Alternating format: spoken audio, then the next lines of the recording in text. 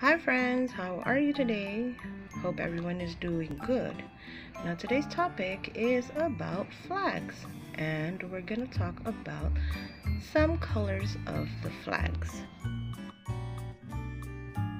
The first flag we're looking at is a flag from India.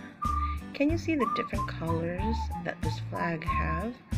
There's red, white, blue, and green and there's something in the middle of the flag. It's like a circle. Here's another flag.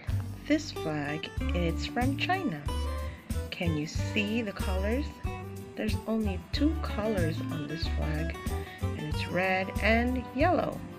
Can you see some shapes on the flag? Can you guess the shape? They are stars. The next flag is from Japan. There is only two colors on this flag too, red and white. And there's a red circle in the middle. Now this flag is almost like our flag, the color I mean, yeah? Now this is the Indonesian flag and this is our flag. And the color on the Indonesian flag is red and white. Only two colors.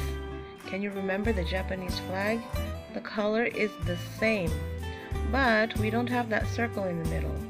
Our flag is a rectangle red on top and a rectangle white on the bottom. So can you repeat after me? The Indonesian flag has two colors.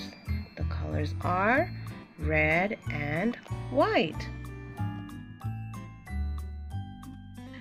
So the topic for today is about flags and can you still remember the color for the Indonesian flag?